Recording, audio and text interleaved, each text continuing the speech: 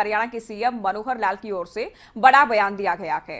CM ने लाल किले में गीता प्रेरणा महोत्सव के आगाज़ को लेकर बयान दिया है। सीएम का बयान है, कुरुक्षेत्र में आने वाले श्रद्धालुओं को विशेष सुविधाएँ दी जाएँगी। सुविधाएँ दी जाएँगी, मुख्यमंत्री का कहना है, जीवन में गीता के श्लोक आज भी सार्थक है, ये भी सीएम की ओर से कहा गया।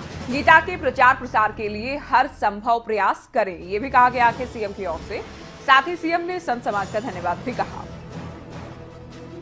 तो गीता प्रेरणा महोत्सव का आगाज़ हो गया है। इस मौके पर मुख्यमंत्री मनोहर लाल की ओर से गीता के महत्व को लेकर तमाम बातें कही गई। इसके अलावा गीता के प्रचार के लिए, प्रसार के लिए जितना भी संभव हो प्रयास करें, ये भी मुख्यमंत्री ने कहा है। साथ ही गीता आज भी प्रासंगिक है, गीता आज भी सार्थक है, ये भी मुख्यमंत्री की ओर से कहा गया। जो भी श्रद्धालु कुरुक्षेत्र आएँगे, उनको तमाम सुविधाएँ दी जाएँगी, ये भी दावा किया गया मुख्यमंत्री मनोहर लाल की ओर से।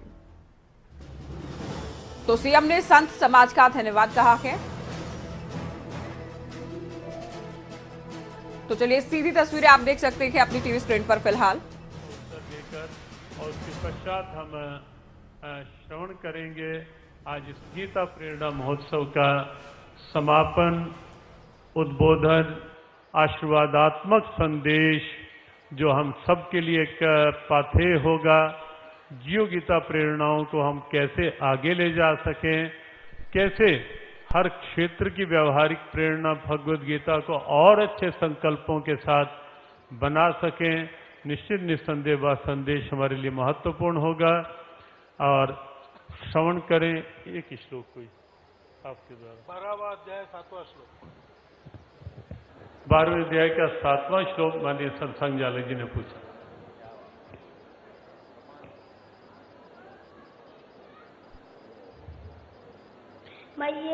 मन आदत्वा मयि बुद्धिं निवेशय, निवशिष्यसि मय्येव अत ऊर्ध्वं न संशयः एक आप, दसवें अध्याय, चलो, फिर पूछेंगे अभी अभी आराम से कुरुक्षेत्र में। और अब आइए, माननीय सरसंघ चालक जी, डॉक्टर मोहन राव भागवत जी का संदेश, जहाँ भी जो है, शांतिपूर्वक श्रवण करें।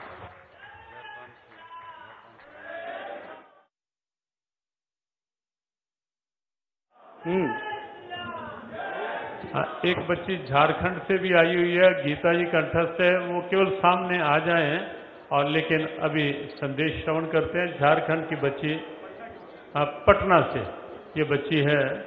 इसको भी पटना गए पूरी गीता जी इस बच्ची को भी कंठस्थ है। केवल एक श्लोक कोई भी सुना दोगे आप?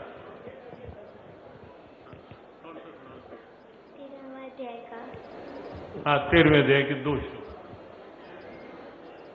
इदं शरीरं कौन्तेय क्षेत्रमित्यभिधीयते एतद्यो प्राहु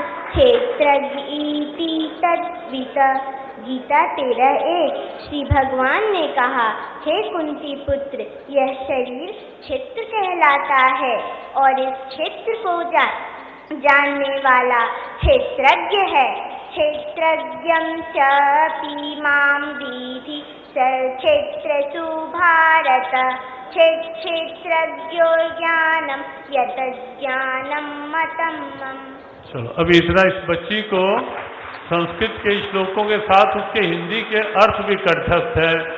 आ, बहुत बहुत प्रेरणात्मक संदेश इस बच्ची के द्वारा शुभकामनाएँ मान्य सरसंचालक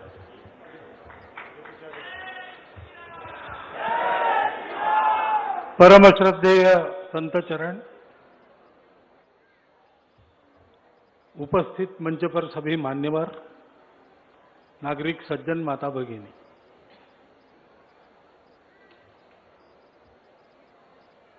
हर प्रसंग नारा लगाने का नहीं होता है। ये अभी इतना गीता पे बोला गया, उसमें से ये तो एक बात है ही। जीवन में अनेक प्रकार के प्रसंग आते हैं।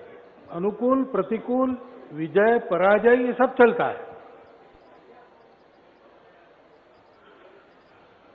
उसमें से अपने जीवन को आगे बढ़ाने का काम ठीक से करते हुए और इन सब का अपने ऊपर परिणाम न हो, इतना ऊपर कैसे उठना? ये भगवत गीता ने बताया है। और भगवत गीता ये कर्तव्य है। गीता, सुगीता, कर्तव्य। वो करने की बात है।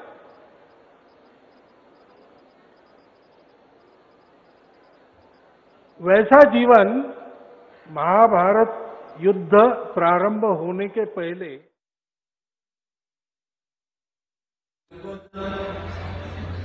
जिन्होंने इसको पूरा अध्ययन किया है रिसर्च की है। आधिकारिक वाणी से वही बोल सकते हैं लेकिन मैं तो इतना कहूँगा कि अगर गीता के 700 श्लोक हैं, उन 700 श्लोक में सभी जीवन में न भी उतारे।